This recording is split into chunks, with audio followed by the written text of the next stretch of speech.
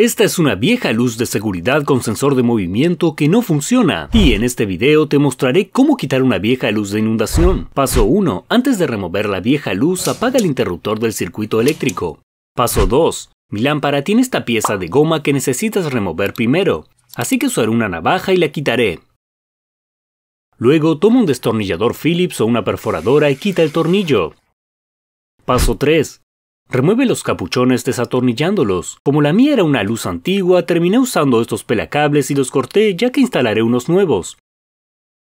Y eso es todo. Ahora estás listo para instalar una nueva lámpara. Mira este video donde instalé nuevas lámparas para el garaje.